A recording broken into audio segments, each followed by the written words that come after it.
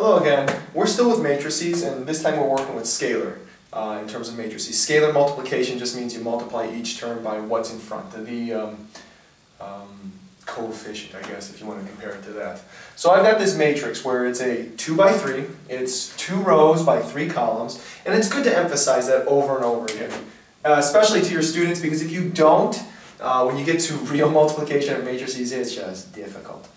Uh, we want to find 3 times this matrix. So I want to find uh, this matrix right here. We'll, we'll see how to do it. So basically all you do is you take 3, and then you multiply it by A, and A happens to be the matrix, uh, the 2 by 3 matrix, I should say. 2, 8, 5, 3, negative 2, 1. Okay, here's how you do it.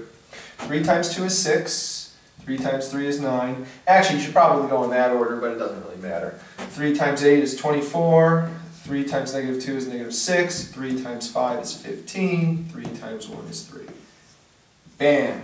That's my answer. Right there. That's all you do. I should probably check to make sure that I got it right. 6, 24, 15, yep. 9, negative 6, 3. Finito. That's it. That's your new answer. It's still a 2 by 3 matrix, except it had a 3 multiplied in every term.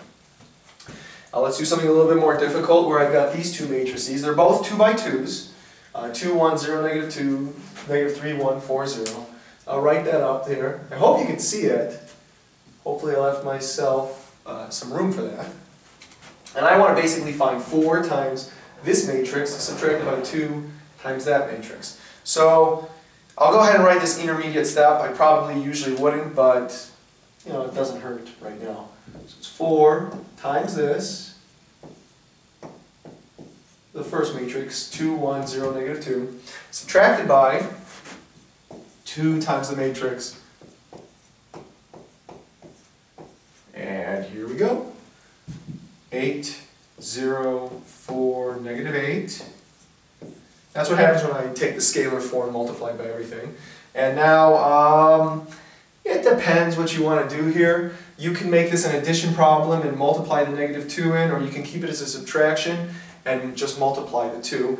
It doesn't really matter. Uh, let me explain that again because some people might not get that. I can take negative 2 and multiply it in and it'll become addition of whatever this is. Or I can just multiply the 2 and subtract whatever is left over. Um, for my sake, what I'm going to do is I'm going to add whatever this outcome is. So I'm going to actually multiply the negative 2 in because I just don't want to worry about it later. Negative 2 times negative 3 is 6 negative 8, negative 2, 0. So I go ahead and I add those matrices together. 8 plus 6 is 14. Uh, 4 plus negative 2 is 2. 0 plus negative 8 is negative 8. Negative 8 plus 0, ooh, that's kind of coincidental. 14, 2, negative 8, negative 8, that's a 2 by 3 matrix, so that looks right. Let me just double check that really quickly. That should be 8, 4, 0, negative 8, bam. Uh, 6, negative 2, negative 8, 0. Everything else works out. So that's how you do scalar.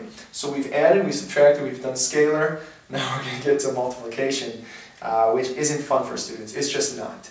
Uh, that's my preface to it.